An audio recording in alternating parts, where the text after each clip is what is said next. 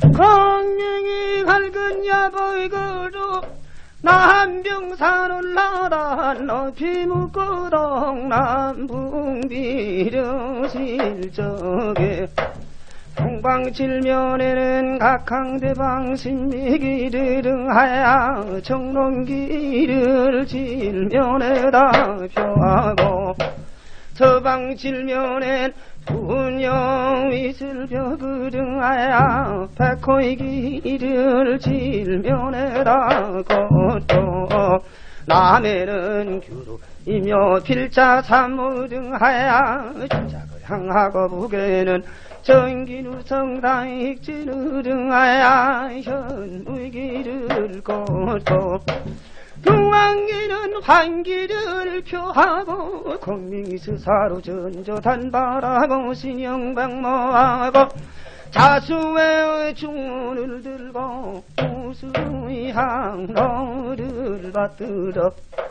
하나를 우르러 던수사배하고 중군에 전령하듯 미령자여든 군법으로 시행을 하리라 광명이 백발여풍에 이동남풍 비려세워 다를 구봉건니 강상에 둥둥 떠는 배 서성 등봉에 한줄로만 알았더니 자령의 방에가 분명하구나 즉시 달하러 나려가니 자롱선척을 대하였다가 선상을 모시고 하구르도랑을 갈지. 이때에 이 주유나 숙다령 하는 말이 공명은지 아무리 상통천무하달지리 육도 삼당무불 통비한 듯 갑자년 갑자월 갑자일 갑자지에 동남풍길 길이 막연이로구나. 말이 맞지 못하야 모든 구름이 뭔가 뭔가 빗방울이 뚝뚝. 성룡락은 우르르 바람은 지덩치듯 남병산사 깃발이 펄펄이 날릴 적. 주요 깜짝 놀라 북창 열고 남병산을 바라를 보니 칠성단상에 오방기치 휘양하구나. 그 가운데 황신 깃발은 풍세를 못 이겨 서북으로 벌벌이 날릴 적에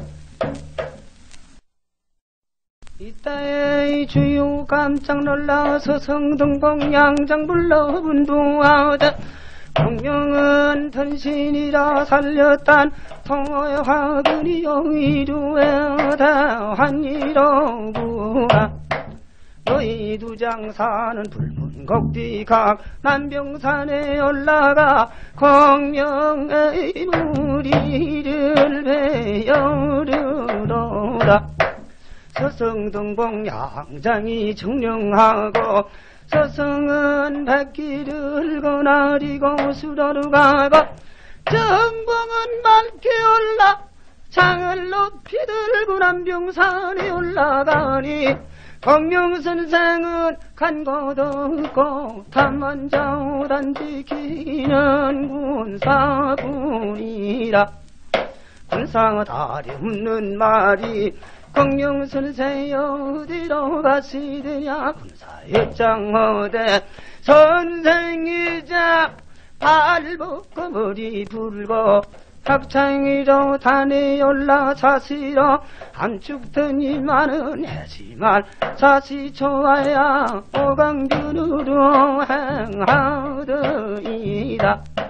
등봉이 그 말 듣고 오강변 당도하니 진리장강은 푸른 물결뿐이요. 야양강수 맑은 물은 왕래 아니 병선뿐이라 공룡은 간곳 없고 밤만 자우 강 지키는 수군장절 뿐이라.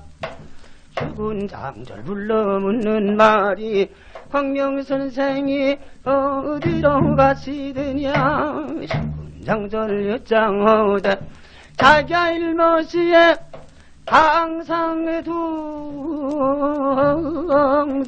떠하는데 야양강수 맑은 물에 고기 잡는 낚시뱅가 심리 장강 격파상에 왕래하니 거룩한 줄로 알았더니만 선중에 이런 대장이 얼굴은 평산배고이기요 한 번 보고 다시 어려운 장사 전생을 모시고 감상으로 행하더이다.